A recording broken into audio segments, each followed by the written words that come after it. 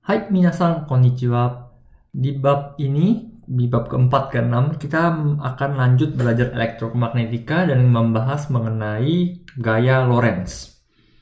Jadi kita mulai dari pelajaran sebelumnya di mana kita membahas mengenai rumus tangan kiri Fleming. Ya, jadi Fleming itu bercerita tentang gaya yang dialami oleh arus listrik di dalam medan magnet. Ya seandainya kamu punya kabel yang ada kawat uh, kawat listriknya, kemudian kamu taruh uh, kawat itu di antara medan magnet, maka dari itu menggunakan tangan kiri kamu, kamu bisa menunjukkan ke arah mana gaya yang akan dialami oleh kawat si kawat listrik itu, ya. Nah, ini yang disebut dengan uh, prinsip dari tangan kiri Fleming. Oke. Okay? Sekarang kita masuk ke yang namanya gaya Lorentz ya. Gaya Lorentz itu adalah gaya yang dirasakan oleh sebuah muatan ketika dia bergerak di dalam medan magnet. Jadi kalau tadi kita berbicara mengenai arus listrik, arus listrik itu juga sebenarnya prinsipnya sama karena yang namanya arus listrik itu adalah pergerakan elektron ya walaupun arusnya arahnya berlawanan. Nah, sekarang kita bayangkan kalau kita punya uh, muatan positif dan muatan negatif seperti yang ada di gambar sebelah kiri.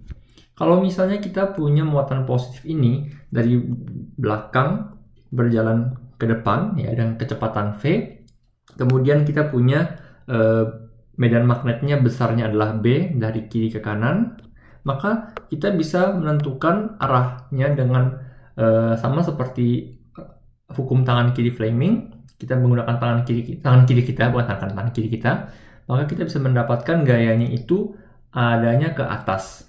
Oke, gayanya ke atas. Seandainya kamu uh, berpikir mengenai elektron, maka kamu akan berpikir ke arah sebaliknya. Jadi arah elektron bergerak dan arah proton bergerak itu kan terbalik. Ya, sedangkan tangan kiri Fleming itu digunakan untuk arus listrik. Ya, jadi kalau kamu mau melihat pergerakan elektron, kamu balik ceritanya. Ya, jadi kalau misalnya tangan kiri kamu sekarang menghadap apa elektronnya itu bukan di depan bukan tapi di belakang di belakang telapak kamu telapak tangan kamu ya. Ini adalah gaya Lorentz oke? Kamu bisa melihat gaya yang dirasakan ketika si muatan itu bergerak. Untuk rumusnya juga sangat-sangat mirip. Kita punya rumus uh, gaya yang dirasakan oleh apa Fleming itu gaya yang dirasakan oleh kawat.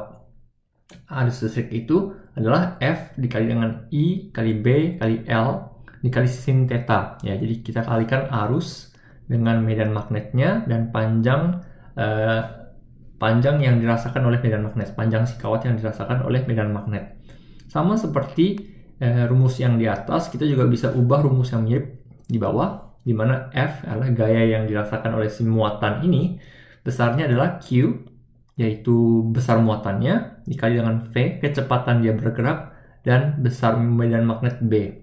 Tentu saja kalau misalnya dia tidak bergerak 90 derajat, kamu harus hitung menggunakan sin theta. Ya, prinsipnya sama. Kalau memang misalnya kamu di sini tulis ya, menghitung uh, arus listrik itu dibayangkan seperti aliran muatan positif. Jadi uh, bisa persis sama dengan hukum tangan kiri framing. Kalau kamu menghitung elektron, kamu harus menghitung sebaliknya. Nah, terakhir kita bisa melihat contoh soal atau kasus seperti ini. Kita punya muatan ya, entah dia muatan positif atau negatif. Anggaplah saya punya gambar di sini muatan positif. Dia bergerak di dalam medan magnet yang luasnya sangat besar. Oke. Kemudian anggaplah dia bergerak ya dari depan sini ke dalam ke dalam layar dan kecepatan v. Kemudian medan magnetnya itu bergerak dari bawah ke atas besarnya B. Maka dari itu kita bisa menggunakan tangan kiri kita untuk menentukan arahnya. Kita punya empat jari kita menghadap ke atas. Kemudian telapaknya masuk ke dalam dan kita akan mendapatkan uh, V. Gaya yang dirasakan oleh muatannya adalah dari kiri ke kanan. Jadi besarnya adalah F kecil. Oke. Okay?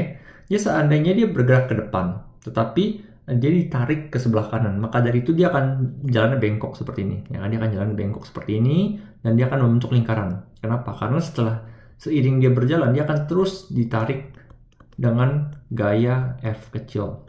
Ya dia akan terus mengalami uh, gaya yang diberikan oleh si uh, medan magnet. Ya jadi dia akan bergerak melingkar beraturan. Oke. Maka kita juga bisa menentukan e, besarnya, bagaimana caranya. Kita juga melihat, oh kalau dia melingkar bergerak teraturan, artinya kamu punya gaya centripetal centrifugal, ya. Nah, gaya centripetal centrifugal pernah kamu pelajari di bab mekanik, yaitu sini ya, mv kuadrat dibagi dengan r. Ini adalah rumus untuk centripetal centrifugal. Nah, kamu samakan. E, maka dari itu biasanya dia akan tanya, kalau misalnya berapa e, kecepatannya atau seberapa besar muatannya yang ada. Kamu tinggal samakan saja. Misalnya kita kalau ditanya berapa muatan yang dimiliki, ya sudah QVB sama dengan MV kuadrat dibagi dengan R. V-nya kamu coret ke bawah, kamu coret kemudian B-nya kamu pindah ke bawah. MV per B kali R. Seperti ini ya. Itu adalah besar muatannya atau e, contoh-contoh rumus lainnya. Oke, jadi biasakan uh, kamu uh, mengenai soal ini, kamu lihat berapa lama dia bergerak, berapa lama dia merasakan medan magnet dan sebagainya. Ketika kamu sampai di Jepang, nanti kamu akan menemukan soal-soal yang sangat-sangat mirip dengan gaya Lorentz. Oke, baik itu saja untuk video kali ini. Saya akan ketemu kalian di video berikutnya. Semangat belajar, Benkyo gambatte kudasai. Sayonara.